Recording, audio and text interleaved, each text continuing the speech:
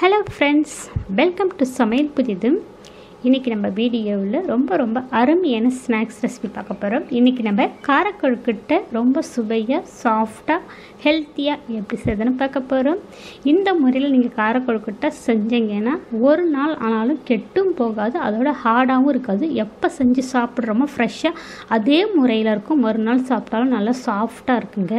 நான் செய்கிற மெத்தடில் நீங்கள் ட்ரை பண்ணி பாருங்கள் ஹண்ட்ரட் பர்சன்ட் சாஃப்டான காரக்கொழுக்கிட்ட கிடைக்குங்க. இதை பார்த்தீங்கன்னா நம்ம ஸ்நாக்ஸாகவும் செய்து கொடுக்கலாம். இதை நம்ம பிரேக்ஃபாஸ்ட்டாகவும் செய்து கொடுக்கலாங்க. ரொம்ப அருமையாக இருக்கும். நீங்களும் ட்ரை பண்ணி பாருங்கள் இந்த காரக்கொழுக்கட்டையே செஞ்சு பார்த்துட்டு உங்களுடைய கருத்துக்களை ஷேர் பண்ணுங்கள் இந்த வீடியோவை முழுமையாக ஸ்கிப் பண்ணாமல் பாருங்கள் இப்போ வாங்க இந்த காரக்கொழுக்கட்டை எப்படி செய்யுதுன்னு பார்க்கலாம். காரக்கொழுக்கட்டை செய்கிறதுக்கு ரெண்டு டம்ளர் பச்சரிசியை ரெண்டு மூணு வாட்டி அலசிட்டு மூணு மணி நேரம் ஊற வச்சு எடுத்துருக்கேன். ஊற வச்ச பச்சரிசியை மிக்சி ஜாரில் சேர்த்துக்கலாங்க. மிக்சி ஜாரில் சேர்த்து கொஞ்சமாக தண்ணி விட்டு எந்த அளவுக்கு நைஸாக அரைக்க முடியுமோ அந்த அளவுக்கு நைஸாக இந்த அரிசியை அரைச்சி எடுத்துகிட்டு வரலாங்க. இப்போ நான் அரைச்சிட்டு வந்தாச்சு மாவு இருக்கட்டும். இப்போ ஒரு கனமான கடாய் வச்சுருக்கேன். அதில் அரை டீஸ்பூன் அளவுக்கு நெய் ஒரு டீஸ்பூன் அளவுக்கு எண்ணெய் சேர்த்துருக்கேன். நெய் சேர்த்து செய்யும்போது நல்லா வாசமாக இருக்கு. கட்டாயம் நெய்யை ஸ்கிப் பண்ணாமல் சேர்த்துக்குங்க.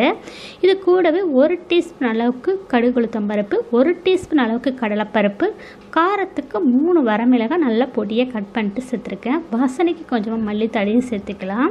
இது கூடவே ஒரு சிட்டிக்கு அளவுக்கு பெருங்காயத்தூளும் சேர்த்துக்கலாம். சேர்த்ததுக்கு அப்புறம் எண்ணெயோட நல்லா கலந்து கொடுத்துக்குங்க. அந்த நெய்யோட வாசனை நல்லா கம கமன்னு இருக்குங்க நம்ம கலந்து கொடுக்கும்போதே. இது எல்லாம் வறுபட்டதும் இதில் கால் முடி தேங்காய் துருவல் துருவிட்டு சேர்த்துருக்கேன் அடுப்பை சிம்மில் வச்சு தேங்காய் துருவலை வதக்கி எடுத்துக்கலாங்க.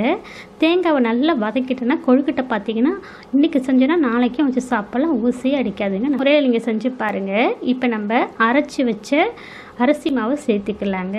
அடுப்பை சிம்மில் வச்சுட்டு மாவை சேர்த்துக்குங்க. இது மாதிரி தோசை மாவு பக்குவத்தில் நான் அரைச்சிருக்குங்க. தண்ணியாக ரொம்ப தண்ணியாகவும் இருக்கக்கூடாது கெட்டியாகவும் இருக்கக்கூடாது. தோசை மாவு பக்குவத்தில் இருக்குங்க.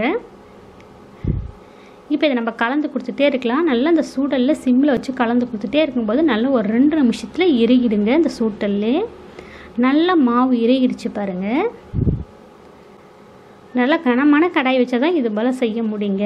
நான்ஸ்டிக் கடாயாக இருந்தால் ரொம்ப ஈஸியாக இருக்கும். ஒட்டாமே வந்துடுங்க இப்போ பார்த்தீங்கன்னா நல்லா கெட்டி ஆயிடுச்சு பாருங்கள் இப்போ ஸ்டவ் ஆஃப் பண்ணிவிட்டு இதை ஒரு பிளேட்டுக்கு மாற்றி ஆற விட்டுக்கலாம். ஆறினதுக்கப்புறம் இன்னும் நல்லா கெட்டியாக சாஃப்டாக வந்துடுங்க மாவு. இப்போ இதை நல்லா சூடு ஆற விட்டுடலாங்க ஒரு பத்து நிமிஷத்துக்கு.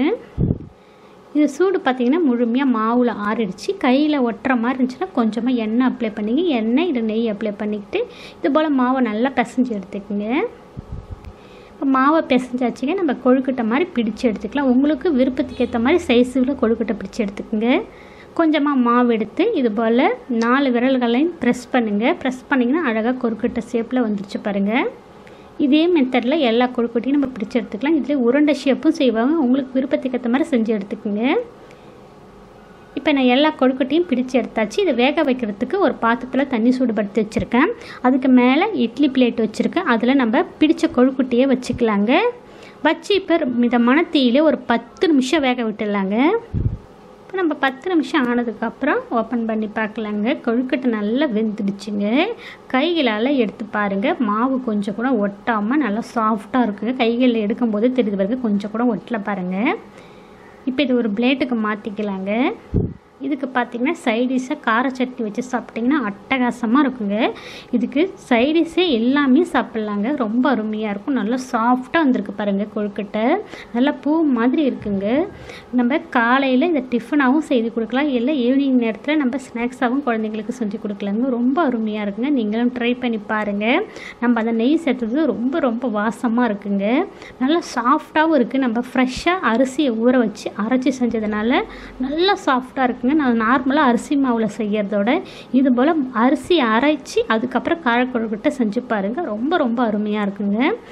அந்த மெத்தடில் பார்த்திங்கன்னா கொஞ்சம் ஹார்டாக இருக்கிற மாதிரி இருக்குது ஒரு ரெண்டு மூணு மணி நேரம் ஆச்சுன்னா இந்த மெத்தடில் செஞ்சோன்னா நம்ம ஒரு நாள் ஆனாலும் நல்லா சாஃப்டாக இருக்குங்க. மறுநாளும் சாப்பிட்லாங்க.